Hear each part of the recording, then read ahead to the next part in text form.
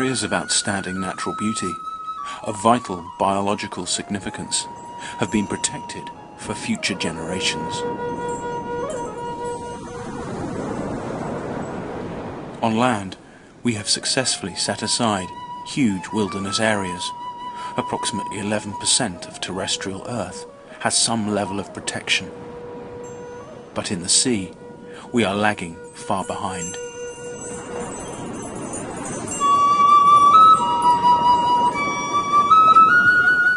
And yet the sea contains as much life, beauty and diversity as the land, and in many cases, far more.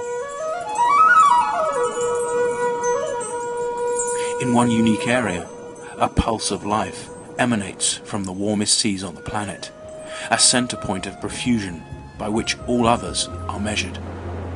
In this heart of the ocean, more marine species are found than anywhere else on Earth. This linchpin is called the Coral Triangle, the nursery of the seas.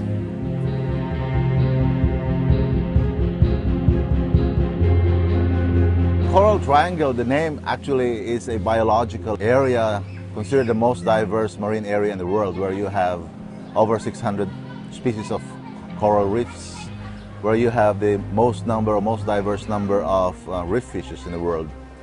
So basically the Coral Triangle is the center of the biodiversity. As you move farther away from it, the lesser are the number of organisms.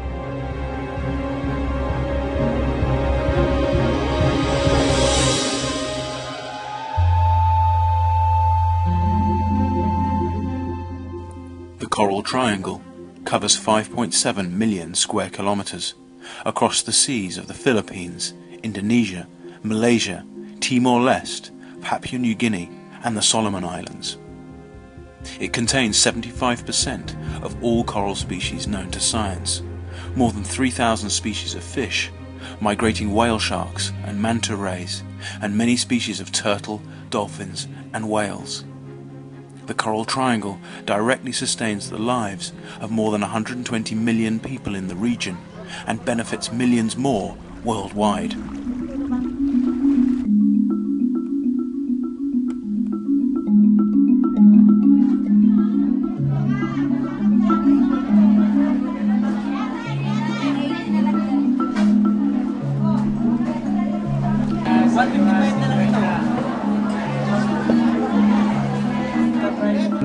Biodiversity is the uh, acts the natural capital uh, of the people living here. So the, it, it generates a lot of uh, livelihood from fisheries, from tourism, and so on.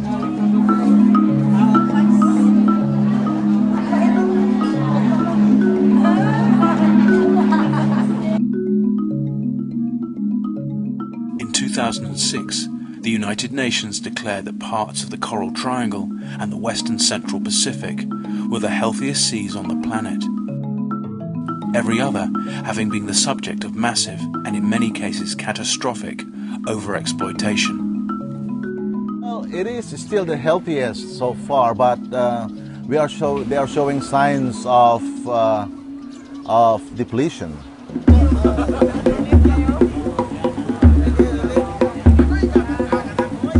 Not only is it a place of breathtaking natural beauty, but over a third of the world's tuna come from this region. Stocks like Big Eye are beginning to show signs of overfishing, and yellowfin is at the limit of the amount of fishing that it can take. Skipjack is a success story and needs to remain that way. Skipjack is in a, a very healthy uh, status. Um, I, believe that scientific evidence suggests that it is probably 20% above the maximum sustainable levels right now. So it's pretty healthy. Although in certain areas like uh, Philippines and certain areas in Indonesia, you see signs of local overfishing.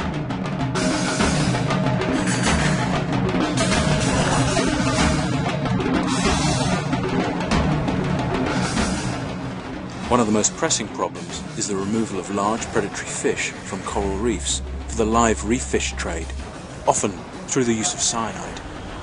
These are fish which are associated with coral reefs generally, and they can be kept alive uh, readily in, in tanks, and if they're live, they get a higher price on the market. So this became quite a, a lucrative trade.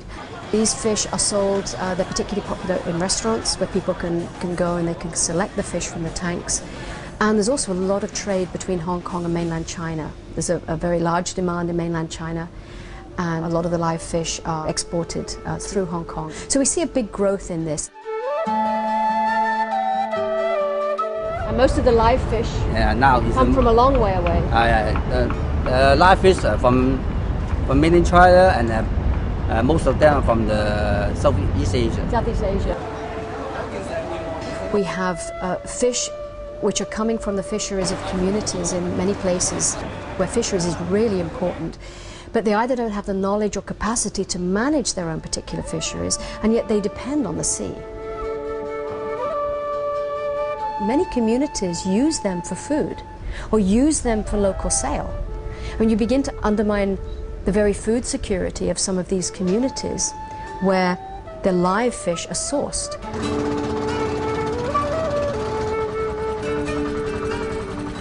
The point about the live trade is that it is a heavy demand on a vulnerable fish which is uncontrolled and likely to grow in the future. As demand for live fish rises and population continues to increase, so will temperatures due to climate change, which will bleach and destroy coral reefs across the region. The future for the Coral Triangle at the moment is uncertain.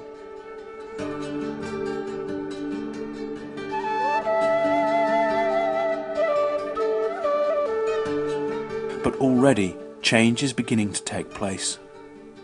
The Intergovernmental Coral Triangle Initiative has recognized just how significant this natural resource is to the region and the whole world.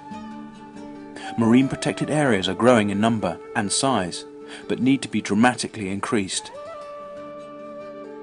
A whole network of protected zones could guard against the pressures of the future, including global warming. But the clock is ticking.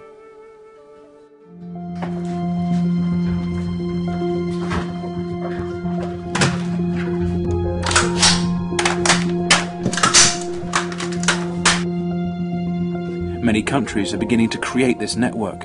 In the Philippines, World Heritage Site Tubataha Reef, in the middle of the Sulu Sea, is one of many relatively new marine protected areas.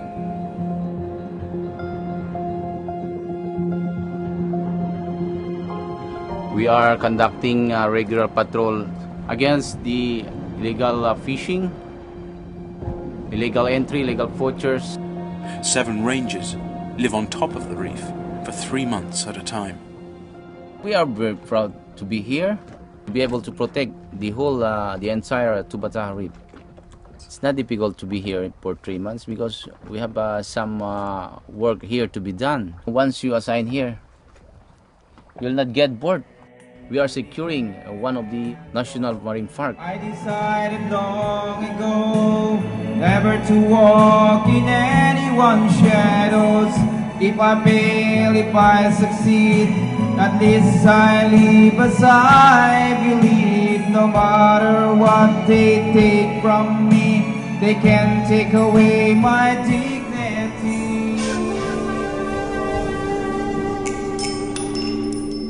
The Coral Triangle is one place that we can start to protect before the most serious damage is done.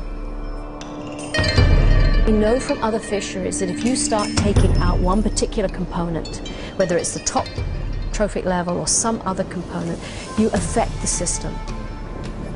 And very often you affect the system in negative ways.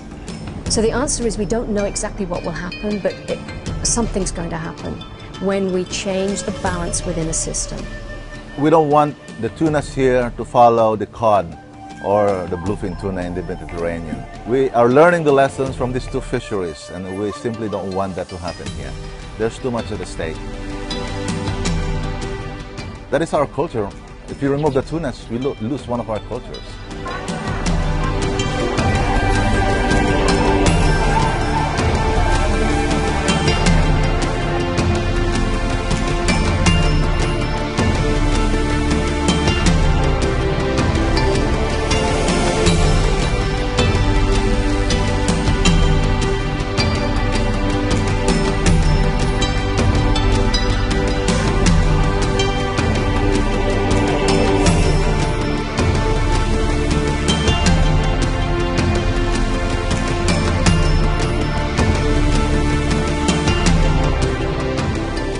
In areas where there is higher species diversity, those areas are more productive.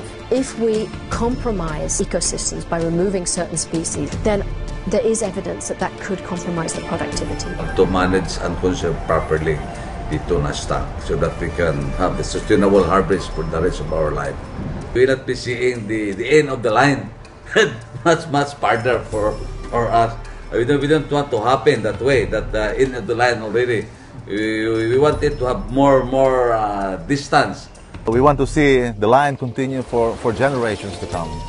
And we can do it here. We are in a position to do it here. And with the support of, uh, of the world, with the support of the consumers, I think this is a case where we will win the battle.